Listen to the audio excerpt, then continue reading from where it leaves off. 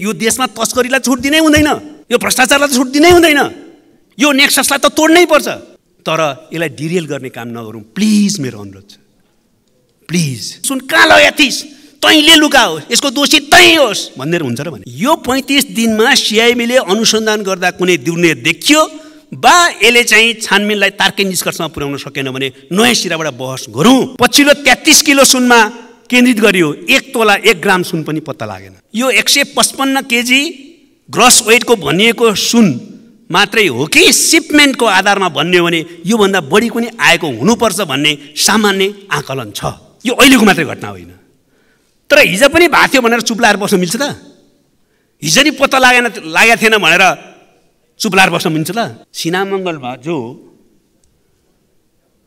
पक्रियो नि त्यसलाई मालिकसम्म जानिदिए के होला भनेर एउटा एउटा कोट त हो यो फेरि। तर कुरो के हो भने तेत्तिस किलो सुन बाटैमा छिनेर मान्छेको हत्या गर्नेसम्म पुग्यो र सुन पनि पाएन मान्छेको ठुलो हत्याको श्रृङ्खलाहरू अगाडि। पैँतिस दिन सिआइबीले काम गर्न पाउँछ। त्यति काम गर्दा उसले पहिचान गर्छ दोषीहरूलाई यसको नेक्ससलाई र कारवाहीको दायरामा ल्याउन सक्छ भन्ने हामीलाई विश्वास छ। त्यो भएन भने त्यतिखेर छलफल गरौँ। त्यो भिएफको फाइल त गृहमन्त्रीको टेबलमा छ नि भन्नुभयो। मेरो एकदम अनन्य मित्रले भन्नुभयो फेरि। होइन होइन पहिला सरकार चलाउँदाखेरि त्यसो गर्ने थियो र भने। माओवादी वा कुनै पार्टी होस् अनुसन्धानले तथ्य प्रमाणले दोषी देखाउँछ भने कोही छुट्नेवाला छैनन् यो कुरामा फेरि यहाँ भन्न चाहन्छु। पोलिटिक्सलाई पोलिट्रिक्स बनाउनु भएन के? लाग्या त भित्रमा त्यही छ। तर अलिकति राजनीतिक लाभ लिनलाई यसो भनिदिउँ त। भनेर यो देश बन्दैन के? केही मुद्दाहरूमा राष्ट्रिय सहमति कायम गरौँ। त्यस्तो भागभण्डा र खाने प्रवृत्तिलाई अन्त गर्न भ्रष्टाचारी तस्करी दण्डहीनतालाई रोक्न र त्यसमा राजनीतिक पार्टीका नेतादेखि जो जो संलग्न छन् त्यसलाई कानुनको दायरामा ल्याउन सहमति गरौँ न। पोलिटिक्सलाई पोलिटिक्स इज ए डटी गेम बन्न नदिउँ। पोलिटिक्सलाई पोलिट्रिक्स बन्न नदिउँ। यो जनताको सेवा र परिवर्तनको माध्यम बनाइ छाडौँ त्यसमा न्यूनतम मुद्दाहरूमा राष्ट्रिय सहमति कायम गरौँ। तेत्तिस केलको सुनको छानबिन गरेर समिति बनाइयो। त्यतिखेर पत्ता लागेन। पत्ता नलागेपछि तर्क गर्न सकिन्छ भनेर त्यो तेत्तिस केलो सुन चाहिँ पक्कै त्यतिखेरको सरकारको मान्छेले प्रधानमन्त्रीवाला गृहमन्त्री लुगाएको हुनुपर्छ। भन्न मिल्छ र म त त्यसलाई नैतिक ठान्दिनँ। निर्मला पन्तको हत्या भयो। सरकारले छानबिन गर्यो अनुसन्धान गर्यो हत्या र पत्ता लगाउन सकेन। त्यो दुःखको कुरा हो। अझै पनि हामी प्रयत्न गरौँला। तर सरकारमा बसेकै मान्छे हत्यारा हुनुपर्छ नत्र भए किन पत्ता लागेन त? तिमीहरू नै हत्यारा भनेर भन्नु नैतिकता हुन्छ र भने।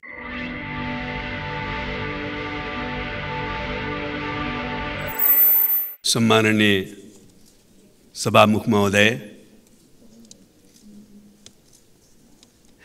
केही दिनदेखिको स्वास्थ्य प्रतिकूलता भाइरल कन्जङ्टिभाइटिस र भाइरल फ्लूका बावजुद म केही दिनदेखि लगातार आज त सदन खुल्छ।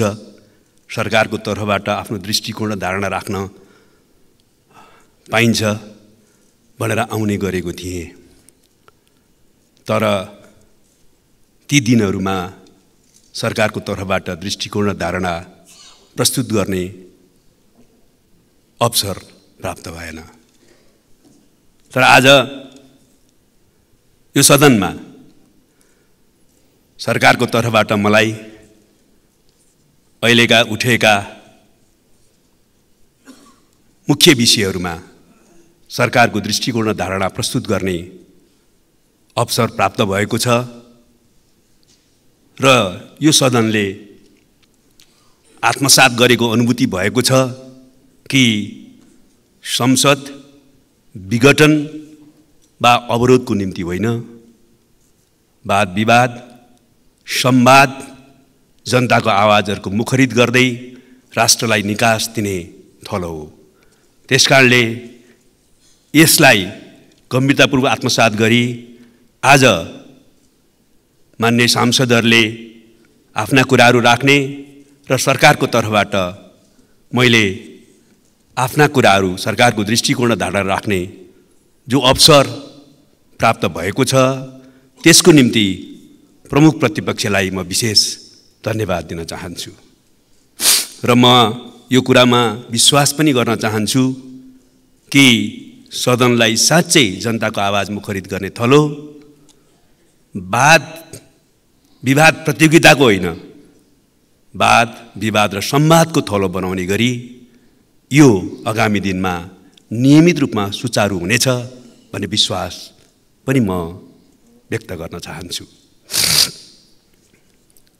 सम्माननीय सभामुख महोदय मेरो स्वास्थ्यका केही प्रतिकूलताका कारणले यो खोकी आउँदाखेरि त्यहाँ मान्य सदस्यहरूलाई जो दुःख पुग्न जान्छ त्यसको निम्ति म प्रारम्भमै क्षमायाचना पनि गर्न चाहन्छु।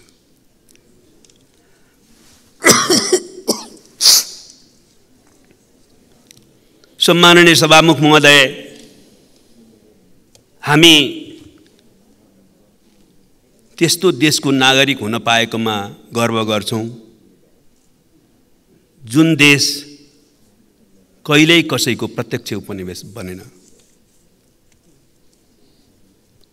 सारा विश्वमा साम्राज्यवाद र उपनिवेशवादको जगजगी हुँदा आज हाम्रा वरिपरिका ठुला र शक्तिशाली भनेका देशहरू सबै साम्राज्यवादको उपनिवेश हुँदा हाम्रा पुर्खाहरूको कारणले हाम्रो देश भने स्वाधीन रहिरह्यो। कहिले कसैको प्रत्यक्ष उपनिवेश बनेन र त्यस्तो देशको नागरिक हुन पाएकोमा गर्व गर्ने स्थितिमा हामी छौँ र हाम्रो देश त्यस्तो देश हो। सम्माननीय सभामुख महोदय हाम्रो देश विश्वमा औँलामा गर्न सक्ने सुन्दरतम देशहरूमध्ये पर्छ। म एउटा सानो घटना सन्दर्भका लागि यहाँ राख्न चाहन्छु। टु थाउजन्ड टुवेल्भमा संयुक्त राष्ट्रसङ्घको महासभालाई सम्बोधन गर्न म नेपाली प्रतिनिधिमण्डलको नेतृत्व गरेर गएको थिएँ। त्यहाँ विभिन्न राष्ट्रिय अध्यक्षले रिसेप्सन वेलकम रिसेप्सन राख्ने क्रममा एउटा देशको राष्ट्राध्यक्षले राख्नुभएको थियो। र त्यहाँ म पनि नेपाली प्रतिनिधिमण्डलको नेताको हैसियतले भाग लिन गएको थिएँ। भाग लिन जाँदाखेरि उहाँको प्रोटोकल अफिसरले मलाई नेपाली प्रतिनिधिमण्डलको नेता उप प्रधानमन्त्री र परराष्ट्र मन्त्री भनेर परिचय गराउनु भयो उहाँले रिसिभ गर्नुभयो। त्यति नै भयो। त्यसपछि उहाँको फर्स्ट लेडी त्यहाँ हुनुहुन्थ्यो। उहाँलाईले पनि हात मिलाउनु भयो तर उहाँको प्रोटोकल अफिसरले जब उहाँ चाहिँ नेपालको हो भनेर भन्नुभयो उहाँले एकदम हक गर्नुभयो अङ्कमाल गर्नुभयो लामो समयसम्म अङ्कमाल गरिरहनु भयो सारा रिसेप्सनका मान्छेहरू हामीलाई हेर्दै थिए र उहाँले भन्नुभयो ओ wonderful beautiful country Nepal.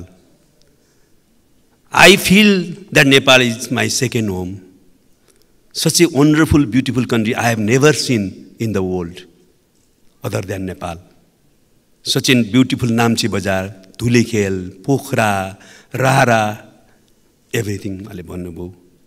र please invite me once again I want to come to Nepal भन्नुभयो। एकचोटि नेपाल आएको विदेशी पर्यटकको अर्को एउटा इच्छा हुन्छ नेपाल फेरि एक एकपटक भ्रमण गर्ने। त्यस्तो सुन्दर देशको नागरिक हौँ हामी। र मानव समाजको बसोबासका दृष्टिकोणले पनि हावापानीका अनुकूलताका दृष्टिकोणले पनि असाध्यै राम्रो देश हो हामी।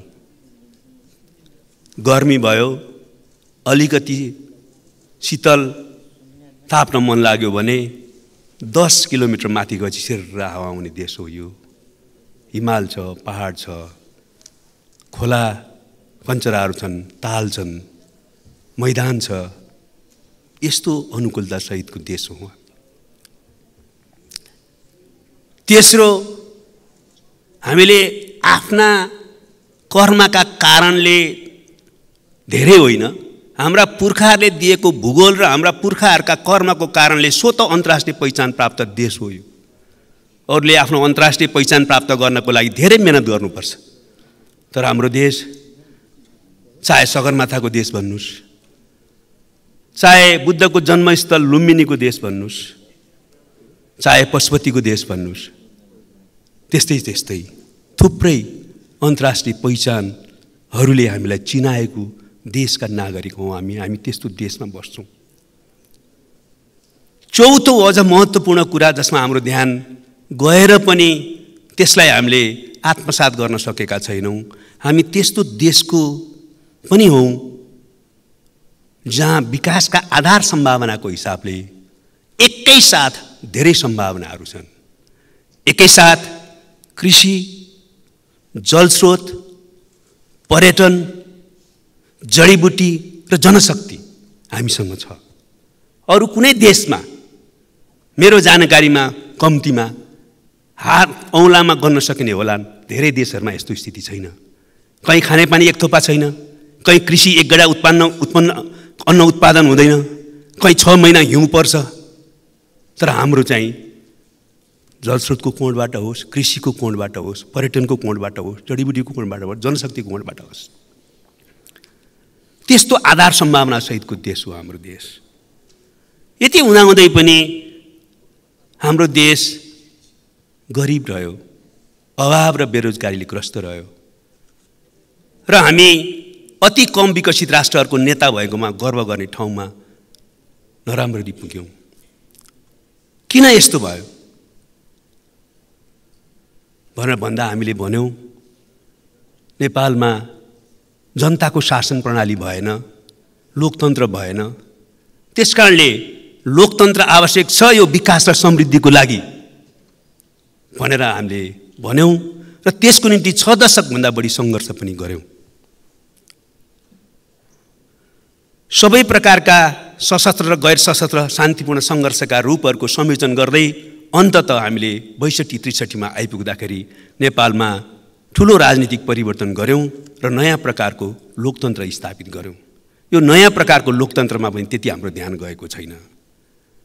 हामीसँग परम्परागत संसदीय गणतन्त्र होइन समाजवाद उन्मुख समावेशी लोकतन्त्र छ परिमार्जित संसदीय शासकीय स्वरूप सहितको नयाँ प्रकारको लोकतन्त्र हामीले स्थापित गरेका छौँ। जो राजनीतिक प्रणालीको हिसाबले सङ्घीय लोकतान्त्रिक गणतन्त्र हो भने लोकतन्त्रको अन्तर्वस्तुको हिसाबले समाजवाद उन्मुख समावेशी लोकतन्त्र हो जसलाई संविधानमा संस्थागत गरिएको छ। सम्माननीय सभामुख म यो कुरा किन भनिराखेका छु भने त्यस पछाडि त अब हामी सामाजिक आर्थिक रूपान्तरणको प्रक्रिया तीव्र होला नि। समृद्धिको यात्राले तीव्रता लिएला समृद्धिको यात्राले तीव्रता प्रदान गर्दै फड्को मार्ने ठाउँमा पुग्ला र नेपाली जनताको शिक्षा स्वास्थ्य रोजगारी खाद्यान्न आवास बाटाघाटा खानेपानी बिजुली जस्ता आधारभूत आवश्यकताहरू पुरा भएर जनताले यो राजनीतिक परिवर्तनबाट नयाँ जीवन प्राप्त भएको अनुभूति गर्लान् भन्ने आशा र अपेक्षा सहित नै त्यो राजनीतिक परिवर्तन भएको थियो। राजनीतिक परिवर्तनको अन्तर्निहित निर्देश यो राजनीतिक परिवर्तनलाई राजनीतिक अधिकार वा उपलब्धिको क्षेत्रमा मात्रै सीमित राख्ने होइन। यो राजनीतिक परिवर्तनलाई माध्यम बनाएर साधन बनाएर सामाजिक आर्थिक रूपान्तरण गर्ने हो समृद्धिलाई तीव्र पार्ने हो र चाहिँ फड्कोको बिन्दुमा पुर्याएर जनतालाई नयाँ जीवन दिने हो र यो राजनीतिक परिवर्तन जसका निम्ति हामी सबैले लड्यौँ सङ्घर्ष गऱ्यौँ खालि राजनीतिक उपलब्धिको निम्ति मात्र होइन यसले त हाम्रो जीवनै फेरिदियो भन्ने ठाउँमा हामीले हाम्रो देशलाई जनतालाई त्यो अनुभूति गराउनु पर्ने हो र यो देश सुन्दर स्वाधीन लोकतान्त्रिक मात्रै होइन समृद्ध देश पनि हो भनेर हामीले स्थापित गर्नलाई यो राजनीतिक परिवर्तन गरेका हौँ। यो राजनीतिक परिवर्तन पछाडि यो लोकतन्त्रको स्थापना पछि केही पनि भएन कुरो त्यसो त होइन। केही न केही परिवर्तन सकारात्मक दिशामा भएका छन् सामाजिक आर्थिक क्षेत्रमा। तर यो कुरा सत्य हो कि नेपाली जनताले यो राजनीतिक परिवर्तन जो गुणात्मक जुन आयामको भएको छ त्यही आयामको सामाजिक आर्थिक रूपान्तरण प्राप्त गर्न सकेनन् समृद्धिको प्रतिफल प्राप्त गर्न सकेनन् र आज पनि त्यो नै हाम्रो अझै मुख्य मुद्दा बनिरहेको छ। त्यस कारणले गर्दाखेरि हामीले विचार गर्नुपर्ने कुरा के हो भने लोकतन्त्रको यत्रो उपलब्धि पछाडि पनि हामीले जे अपेक्षा राखेका थियौँ सामाजिक आर्थिक रूपान्तरण समृद्धि र नेपाली जनतालाई नयाँ जीवन दिने त्यो किन गर्न सकेनौँ भनेर हेर्दाखेरि हामीले आत्मसमीक्षा गर्नु छ।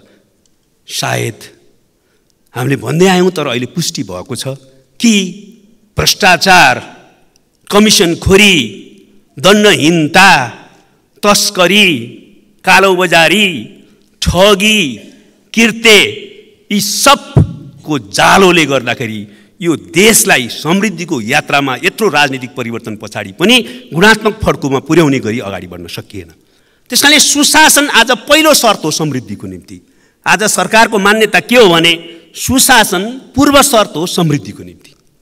सुशासन स्थापित नगरी नगरिकन हामीले जतिसुकै कुरा गरे पनि नेपालको सन्दर्भमा हामीले समृद्धिलाई फड्कुमा पुर्याउने र यो राजनीतिक परिवर्तनलाई माध्यम बनाएर साधन बनाएर जनताले आफ्नो जीवन आफ्नो पोल्टामा आफ्नो काखमा नै नयाँ चाहिँ अनुभूति जीवनको अनुभूति पायौँ भन्ने स्थितिमा पुर्याउन सके। त्यस कारणले सुशासन पहिलो शर्त हो पूर्व शर्त हो भन्ने मान्यता अन्तर्गत हामीले के भन्यौँ त भने सुशासन समृद्धि र सामाजिक न्याय अहिलेको केन्द्रीय कार्यभार हो त्यो आधारमा हामी अगाडि बढ्नुपर्छ। यो केन्द्रीय कार्यभार सँगसँगै हाम्रो अर्को महत्त्वपूर्ण कार्य कार्यभार शान्ति प्रक्रियाको बाँकी काम पुरा गर्नु हो। सत्य निरूपण तथा मेलमिलाप आयोग र बेपत्ता छानबिन आयोगको काम पुरा गरेर हामीले नेपालको शान्ति प्रक्रिया जो अहिले पनि पूर्ण भएको छैन त्यसलाई समग्रमा पुरा गर्नु हो र दिगो शान्ति स्थापित गर्नु र पीडितलाई न्याय दिनु हो। त्यस कारण केन्द्रीय कार्यभारको रूपमा सुशासन समृद्धि र सामाजिक न्याय अर्को महत्त्वपूर्ण कार्यको रूप कार्यभारको रूपमा शान्ति प्रेका बाँकी काम पुर्याउने गरी गरी सरकार अहिले अगाडि बढ्दैछ र त्यसै क्रममा तपाईँहरूलाई थाहा छ कि अहिले हामीले सुराकी खर्चको दुरुपयोगको स्थितिदेखि लिएर त्यसलाई निस्तेज गऱ्यौँ। हामीले नक्कली भुटानी शरणार्थी केसमा अपराधीहरूलाई दोषीहरूलाई छानबिन गर्ने र कानुनको दायरामा ल्याउने काम गऱ्यौँ। हामीले ललिता निवास केसमा सरकारी जग्गा व्यक्तिको नाममा गर्ने जो प्रक्रिया अगाडि बढ्यो त्यसलाई हामीले फेरि अनुसन्धान गरेर कारवाहीको दायरामा ल्यायौँ सामन्तवादको अवशेषको रूपमा रहेको मिटर ब्याजी समस्यालाई समाधान गर्न मिटर ब्याजको निम्ति हामीले कानुन ल्यायौँ आयोग बनायौँ र सहजीकरण समिति बनाएर एउटा अभियान चलाइराखिएको छ। र यसरी हामी सुशासन र सामाजिक न्यायको निम्ति काम गरिराखेका छौँ। यसो गर्दा आम रूपमा मान्य सांसदहरूले पनि र जनताले पनि यसलाई सकारात्मकमा लिएर समर्थन गरिरहेको छ त्यसप्रति म सबैप्रति आभार र धन्यवाद व्यक्त गर्न चाहन्छु। तर केही प्रश्नहरू उठेका छन्। होइन यो नक्कली भुटानी शरणार्थीको केसमा त्यहाँभन्दा माथि किन नगा भन्ने छ। हाम्रो स्ट्यान्ड बाई डाइरेक्टिभ छ पुलिसलाई प्रहरी संयन्त्रलाई। अध्ययन अनुसन्धानले तथ्य प्रमाणले जहाँसम्म जानुपर्छ त्यहाँसम्म जाने र निरपेक्ष भएर दोषीलाई कारवाहीको प्रक्रियामा ल्याउने। त्यसो गर्दाखेरि हामी मात्रै कसैलाई लाग्यो होला? होला पनि नहोला पनि कि फल्ना पनि त्यसमा संलग्न हुनुपर्ने हो? त्यहाँसम्म त पुगेन भन्ने लाग्न सक्छ। तर सरकार र सम्बन्धित अनुसन्धान संयन्त्रले लागेको आधारमा गर्न मिल्दैन। तथ्य प्रमाणको आधारमा गर्न मिल्छ गर्नुपर्छ। त्यस कारणले अहिले स्ट्यान्ड बाई डाइरेक्टिभको आधारमा काम गरिरहेको छ र तथ्य प्रमाणले जहाँसम्म दोषी फेला पार्छ त्यो दोषीलाई कानुनको दायरामा ल्याउने र कारवाही गर्ने प्रक्रियामा गएको छ। यसमा कुनै शङ्का नगरियोस् म विनम्रतापूर्वक अनुरोध गर्न चाहन्छु। दोस्रो ललिता निवासको केसमा पनि त्यही हो। अहिले चाहिँ अदालतको आदेश आइसकेपछि मान्य सांसदहरूले पनि भन्नुभएको छ अदालतको आदेश किन कुर्या? भन्नुभएको छ। अदालतको आदेशले थप अनुसन्धानको लागि हामीलाई केही आधारहरू दिएको छ। तर हाम्रो अनुसन्धान त पुरा भएको छैन। हामीले अभियोजनको प्रक्रियालाई चाहिँ अनुसन्धान प्रक्रिया पुरा गरेर अभियोजनको प्रक्रियामा त गइसकेका होइन। हामी त अनुसन्धानको प्रक्रियामा छौँ नेपाल प्रहरी सिआइपी त्यस कारण त्यो अनुसन्धानको प्रक्रिया अगाडि बढाइरहँदाखेरि अहिले अदालतले पनि यो आदेश दिएको सन्दर्भमा अनुसन्धानलाई अगाडि बढाउन थप आधार प्रदान गरेको छ। यसलाई सकारात्मक रूपमा ल्याउँ र हामी अनुसन्धानलाई स्वच्छ र निष्पक्ष ढङ्गले तथ्य र प्रमाणको आधारमा अन्तिम निष्कर्षमा पुर्याउने पक्षमा प्रहरी प्रशासनलाई स्ट्यान्ड बाई निर्देशन दिएका छौँ। केही मान्य संसदले भन्नुभयो त्यो भिएफको फाइल त गृहमन्त्रीको टेबलमा छ नि भन्नुभयो। मेरो एकदम अनन्य मित्रले भन्नुभयो फेरि। होइन होइन पहिला सरकार चलाउँदाखेरि त्यसो गर्ने थियो र भने। सिआइबीले गरेको अनुसन्धान पहिला मेरो टेबलमा ल्याइज। अनि मैले जे भन्छ त्यो गर भन्ने चलन थियो र भने। हामी त त्यसो गर्दैनौँ। हामीले सिआइबीलाई स्ट्यान्ड बाई डाइरेक्ट देखाएको छु दिएको छौँ। तपाईँहरू अनुसन्धान गर्नुहोस्। अनुसन्धानको आधारमा जे तथ्य प्रमाणले देखाउँछ त्यसको आधारमा अभियोजनको प्रक्रियामा जानुहोस्। को मान्छेलाई तान्ने को मान्छेलाई छुट दिने निर्देशन दिने हामी होइनौँ। हामी त्यसो गर्न सक्दैनौँ। हामी कानुनलाई लागू गर्छौँ कानुनलाई लागू गर्ने संस्थालाई अनुसन्धान गर्न दिन्छौँ त्यसको आधारमा प्रमाणको आधारमा अगाडि बढ्न भन्छौँ। अहिले पनि मैले सन्दर्भमा भन्छु कि माओवादी वा कुनै पार्टी होस् अनुसन्धानले तथ्य प्रमाणले दोषी देखाउँछ भने कोही छुट्नेवाला छैनन् यो कुरा म फेरि यहाँ भन्न चाहन्छु। कोही अनुसन्धानले देखाएर नआउँदासम्म प्रश्नहरू उठ्न सक्छन्। तर अनुसन्धान र तथ्य प्रमाणले अगाडि बढाएर दोषी देखा पर्छ भने कोही छुट्दैन। कोही उम्कन पाउँदैन। यो म दृढतापूर्वक नेपाल सरकारको अहिलेको गृहमन्त्रीको हैसियतले भन्न चाहन्छु।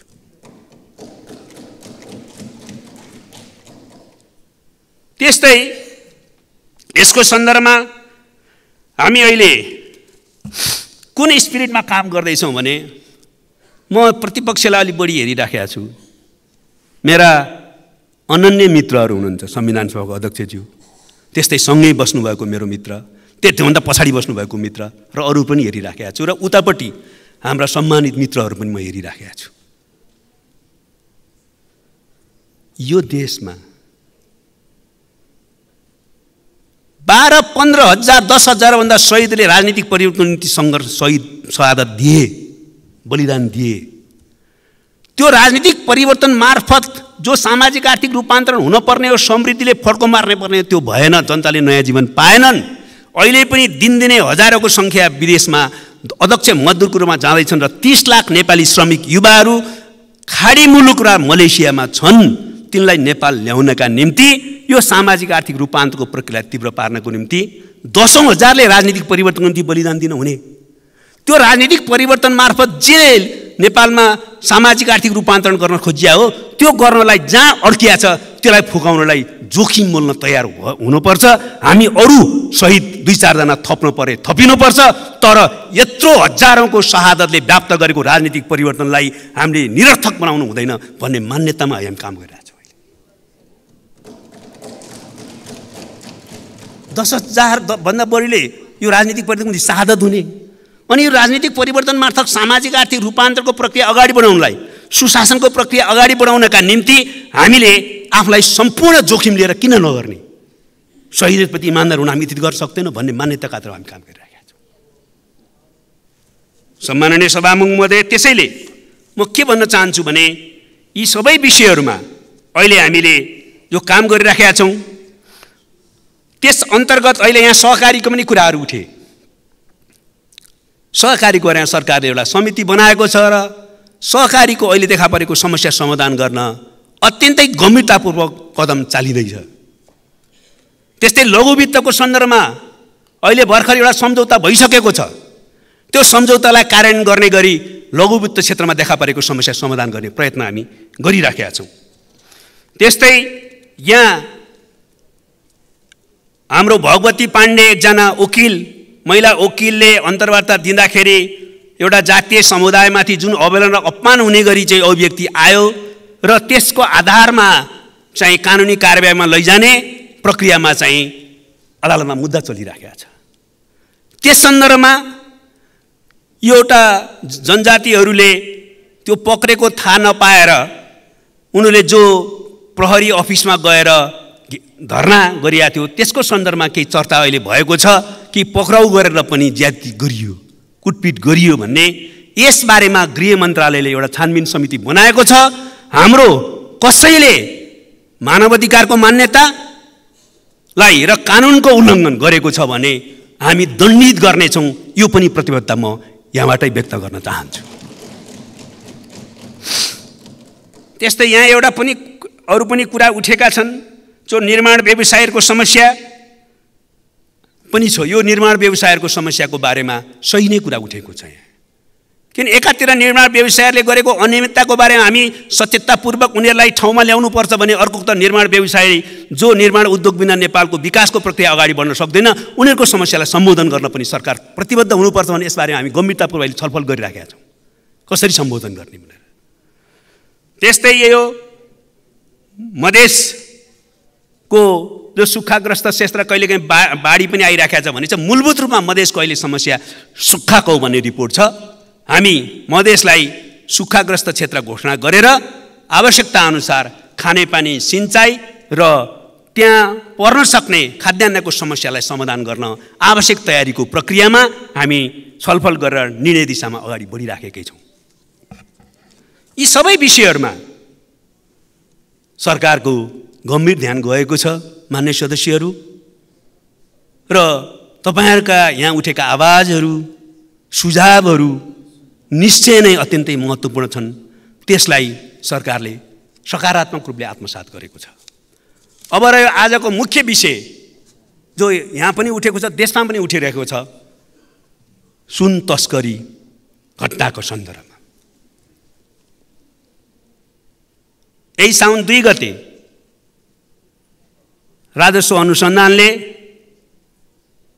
अहिले राष्ट्र बैङ्कको तथ्याङ्क अनुसार एक सय पचपन्न ग्रस वेट भएको सुनलाई कब्जामा लियो र त्यसपछि अनुसन्धानको प्रक्रियामा अगाडि बढायो। त्यस पछाडि साउन एक्काइस गते यो ट्रान्सनेसनल सहित सङ्गठित अपराध हो त्यस कारणले यो राजस्व अनुसन्धानले मात्रै अनुसन्धान गर्ने विषय होइन भनेर यसलाई राष्ट्र अनुसन्धानको रिपोर्ट सहित अहिले अब सिआइबीले त्यो केस ह्यान्डल गर्ने काम गरिरहेको छ र सिआइबीले अनुसन्धान गरिरहेको छ। निश्चय पनि यहाँ आएको यो मुद्दासँग म पुरै सरकारको तर्फबाट सहमति व्यक्त गर्न चाहन्छु कि यसले हाम्रो देशको प्रतिष्ठा र छविमा साह्रै नकारात्मक असर पुर्याएको छ। यसले हाम्रो राजस्वमा नकारात्मक असर पुर्याएको छ। यसले हाम्रो अर्थतन्त्रमा समस्या पैदा गरेको छ। यसले अर्थतन्त्रको हुन्डी लगायतका पाटाहरूलाई अनावश्यक रूपमा अवाञ्छित ढङ्गले प्रोत्साहित गरेर अर्थतन्त्रमा समस्या थपिदिएको छ। यसले सङ्गठित अपराधको जालोलाई बढाउने काम गरेको छ। यसले राष्ट्रिय सुरक्षाको संवेदनशीलतालाई ध्यानकर्षण गराएको छ र यसको चुनौतीप्रति हामी सबैलाई गम्भीर बनाउन प्रेरित गरेको छ। त्यति मात्रै होइन यसले मित्र राष्ट्रहरू छिमेकी राष्ट्रहरूको अर्थतन्त्रमा समेत नकारात्मक असर पुर्याउने काम गरेको हामी विश्लेषण सुनिराखेकै छौँ। त्यस कारण यो सबै पक्षका कारणले यसलाई हामीले गम्भीरतापूर्वक लिनुपर्ने आवश्यकता छ। यसमा सिङ्गो देश एक ठाउँमा छ। यसले पर्यटनलाई पनि असर पार्छ।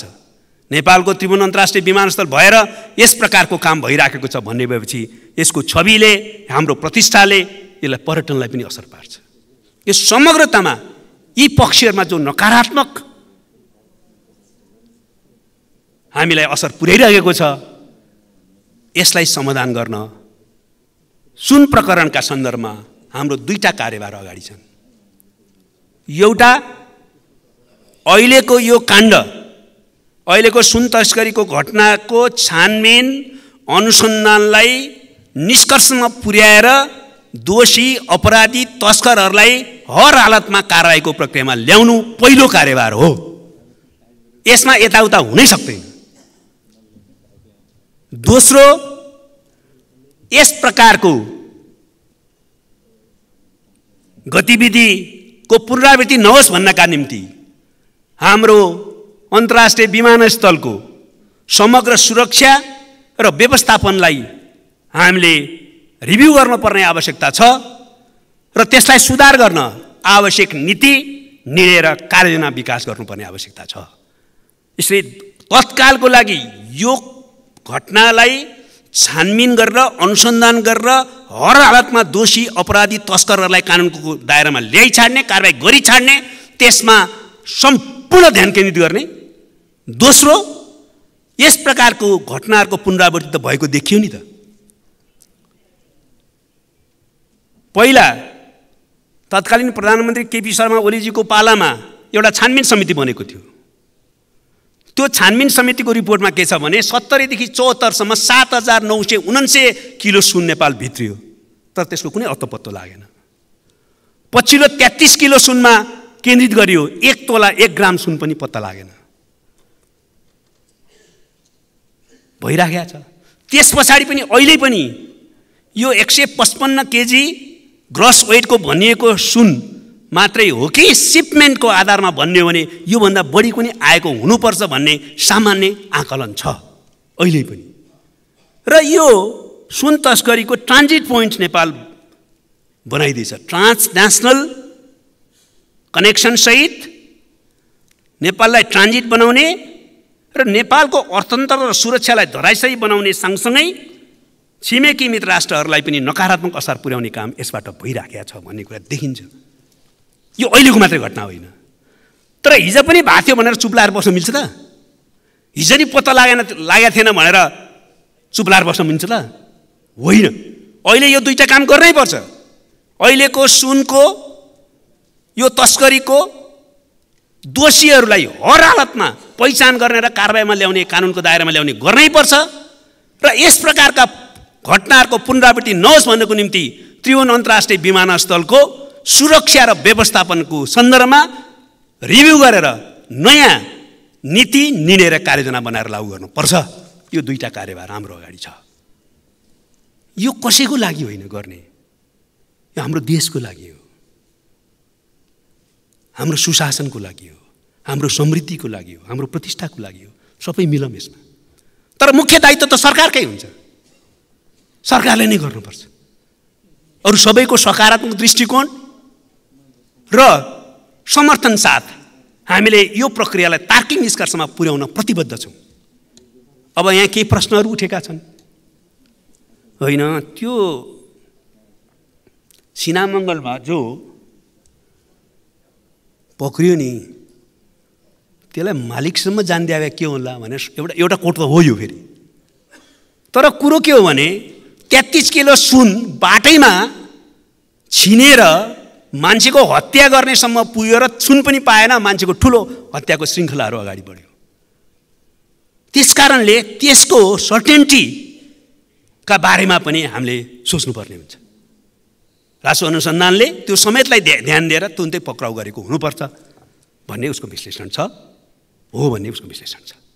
यस्ता थ्रेटहरू हुन्छन् यस्तो माफिया र तस्करीमा। अर्को कुरा यहाँ यो कार्यभार पुरा गर्नको लागि उच्चस्तरीय छानबिन समिति बनाएर किन नगर्ने भन्ने छ।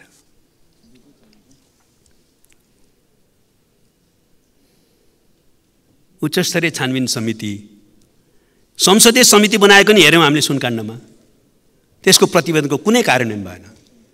त्यो निरर्थक भएर सिध्यो सरकारले एउटा छानबिन समिति बनायो सिआइबीलाई दिनुको सट्टा। त्यसले तेत्तिस किलो सुनको एक ग्राम पनि पत्ता लगाउन सकेन। त्यस कारणले उच्च स्तरीय छानबिन समिति बनाएर होइन सरकारको इक्विप्ड राज्यको यो सरकारको होइन नि यो त राज्यको इक्विप त्यसैको लागि बनाइएको संयन्त्रलाई नै हामीले जिम्मा दिनुपर्छ यति त विश्वास गर्नु पऱ्यो त्यो चाहिँ हुँदै जाँदा अहिले साठी दिन हो सङ्गठित अपराधको निम्ति। साठी दिनमा बिस दिन राजस्व अनुसन्धानले अनुसन्धान गरेर यो सङ्गठित अपराध क्षेत्रभित्र पर्ने हो भनेर प्रतिवेदनसहित सिआइबीलाई बुझाइयो। सिआइबीको लागि अब चालिस दिनमध्ये पाँच दिन जति चाहिँ सरकारी वकिलको कार्यालयमा जान्छ पैँतिस दिन सिआइबीले काम गर्न पाउँछ। त्यति काम गर्दा उसले पहिचान गर्छ दोषीहरूलाई यसको नेक्ससलाई र कारवाहीको दायरामा ल्याउन सक्छ भन्ने हामीलाई विश्वास छ। त्यो भएन भने त्यतिखेर छलफल गरौँ न। बहस गरौँ न। किन हामी त पहिला हेऱ्यौँ नि त। यो चाहिँ अनुसन्धान गरेर आफै अभियोजन गर्ने प्रक्रियामा नदिएर कुनै समितिको प्रतिवेदन गर्ने र त्यो प्रतिवेदन लागू गर्ने र नगर्नेको चाहिँ अर्को चाहिँ व्यथामा हामी किन जाने? राज्यको जुन निकायले अनुसन्धान गर्छ र उसैले अभियोजन गर्न सक्छ त्यसलाई नै दिनु पऱ्यो नि अहिले त। त्यो भएन। त्यहाँ दुर्नियत देखा पऱ्यो अपराधी लुकाउने। भने त्यस पछाडि ल नयाँ सिराबाट जाउँ भनेर बहस गर्नु उपयुक्त हुने होइन र? म सबै मित्रहरूलाई सभामुख मार्फत यो अनुरोध गर्न चाहन्छु। हामी सबै सरकार मुख्य रूपमा लाग्छ। सकारात्मक वातावरण बनाऊ। कसैलाई छुट नदिने दिशातिर जाउँ र पहिचान र कारवाहीको प्रक्रियामा ल्याइछाडौँ यो हो नि त कुरा।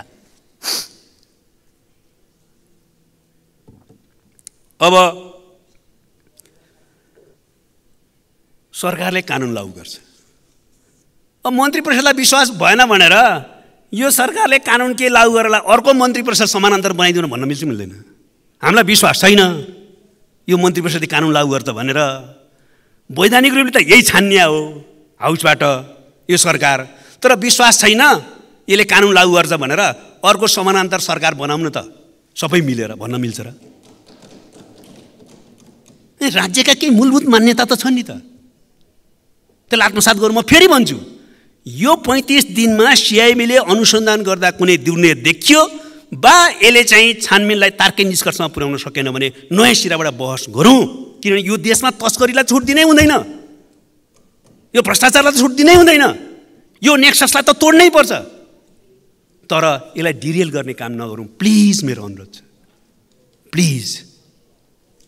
बा यसको प्रक्रियामा अरू पनि अनुसन्धान गर्दै जान्छ।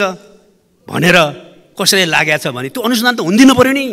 त्यसलाई रोक्ने त झन् काम गर्नुहुन्न भन्ने मेरो विनम्र अनुरोध छ। तर हामीले यसमा मेरो भनाइ के हो भने हामीले यो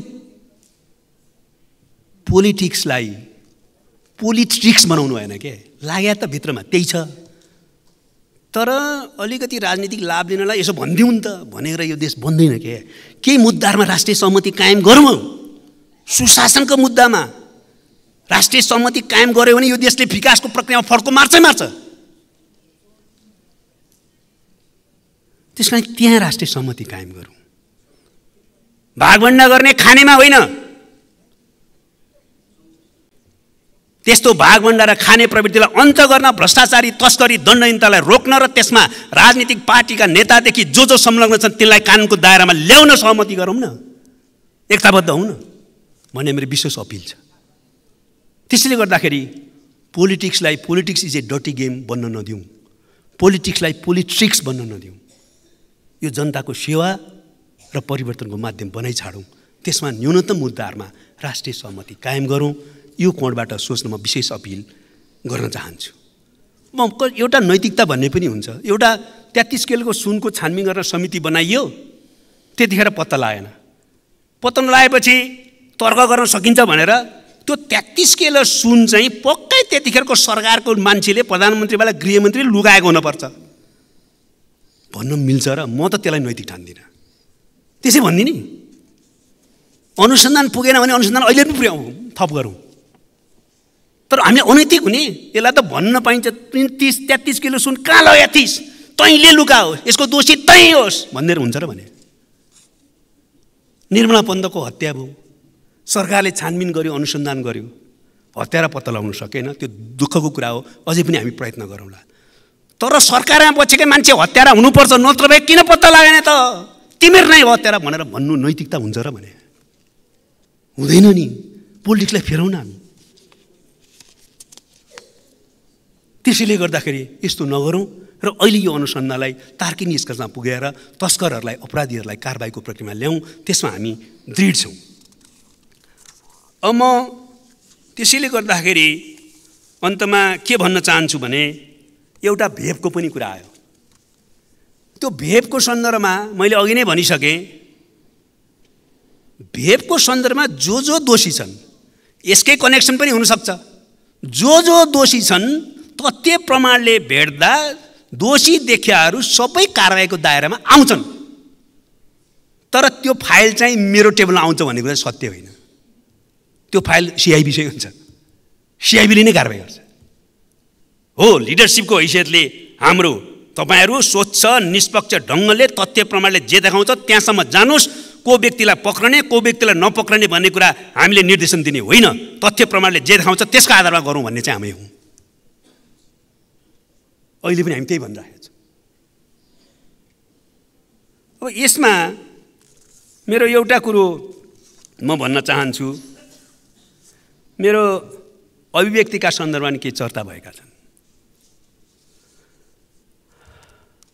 म त्यो सुन प्रकरणको भोलिपल्ट त्यो सुनको प्लेन चाहिँ ल्यान्ड गरेपछि कार्गोसम्म आउने प्रक्रिया के रहेछ भनेर प्रत्यक्ष घटनास्थल बुझ्न गएको थिएँ। त्यहाँ ल्यान्ड गरिसकेपछि त्यो हेर्ने को रहेछ? भने कानले नेपाल एयरलाइन्सलाई ग्राउन्ड ह्यान्डलिङको जिम्मा दिएको रहेछ। ग्राउन्ड ह्यान्डलिङको सबै कन्ट्र्याक्ट चाहिँ नेपालीहरूलाई ल्याएको छ। त्यसपछि त्यसले सामान कहाँ ल्याउँदो रहेछ त?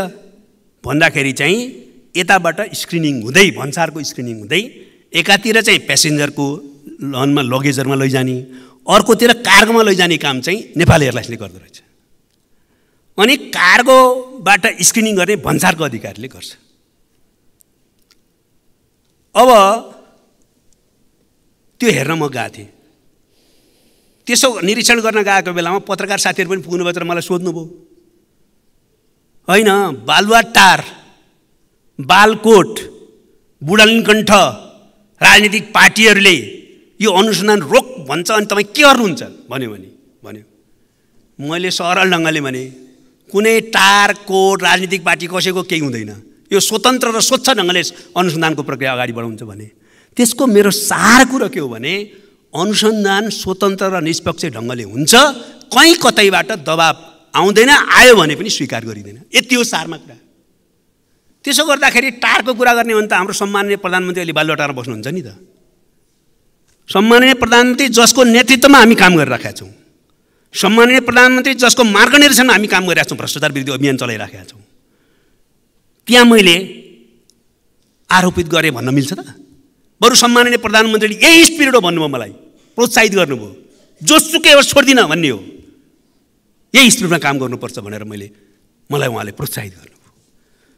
अरूले पनि यही रूपमा हेर्ने मेरो एउटै मात्र कुरा के हो भने जो भए पनि कानुनले जसलाई दोषी देख्छ छुट्दैन है उसलाई छोडिँदैन भने यति हो। तैपनि कसैलाई चोट पुगेको छ भने म मेरो नियत त्यस्तो नभएको कुरा स्पष्ट पार्न चाहन्छु र कसैलाई चोट पुगेको छ भने म दुःख व्यक्त गर्न चाहन्छु। र अब यो सुशासनको क्षेत्रमा एकताबद्ध भएर जाउँ र समृद्धिको यात्रालाई तीव्र बनाऊ यसको निम्ति यो हाउसलाई सुचारू गरेर वाद विवाद होइन वाद प्रतिवाद र संवादको थलो बनाऊ यसको निम्ति विशेष अपिल गर्दै बिदा हुन्छु। धन्यवाद।